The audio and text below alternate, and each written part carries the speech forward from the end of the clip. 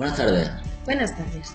Pues señorita, eh, veo que su currículum es muy extenso y muy bueno y está usted casi dentro de la empresa. Falta esta última prueba, que es el psicotécnico, que lo he hecho yo mismo, ¿no? Son muy, muy facilitos, pero es la última prueba. Así que vamos a arrancar. Eh, primera pregunta. Imagínese usted que está en una calle muy oscura, apenas no se ve nada, y se dirigen hacia usted dos luces eh, pequeñas. ¿Qué me dice usted que es? Un coche. Mm, sí, un coche, pero... ¿Qué coche? ¿Un Mercedes, un Renault, un SEA? Mm, no sé.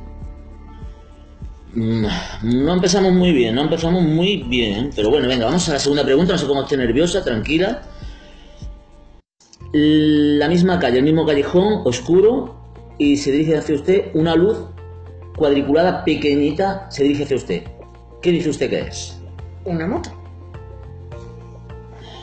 Una moto. Sí, una moto. Pero no me dice usted qué moto, si es una Yamaha, una Honda, una Aprilia. No. Vamos a ver, pero es que yo eso no lo puedo saber. Le voy a hacer la última pregunta y. y- no sé. Mismo callejón, ya es muy fácil, mismo callejón, igual de oscuro. Y una luz igual cuadriculada, pero más pequeña que la anterior.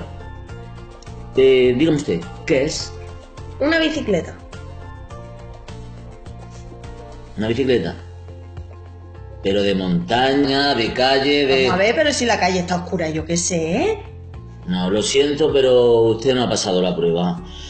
Su currículum era muy bueno, pero este, estos test que son muy fáciles no lo ha pasado usted, así que no está usted dentro de la empresa. Lo siento mucho.